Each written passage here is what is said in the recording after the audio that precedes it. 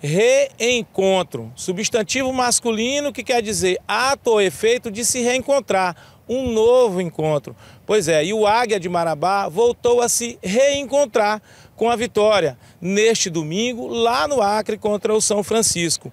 Foram 20 dias desde a última vitória contra o trem no Amapá e três jogos sem sentir o sabor da vitória. E essa imagem que você vê agora é a única que nós conseguimos do gol do Águia, devido aos problemas de transmissão da Série D. Numa bola parada, o meia Alan Maia cruza na área e o centroavante Luan Santos escora de cabeça, fazendo o único gol do jogo. Isso foi aos 20 minutos do primeiro tempo e foi o bastante para que o Águia vencesse a partida. Hoje, hoje o importante foi os três pontos conquistados fora de casa, né?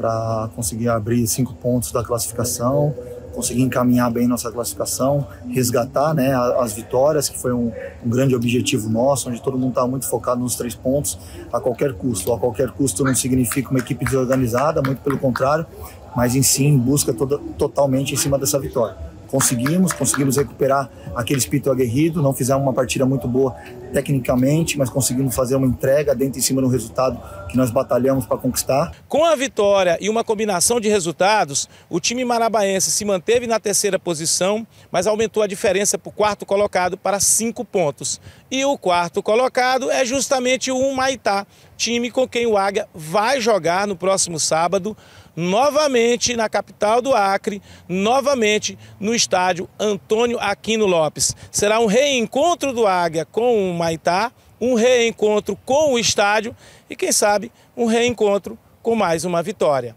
Com imagens de Fernando Paiva, Chagas Filho para a TV Correio.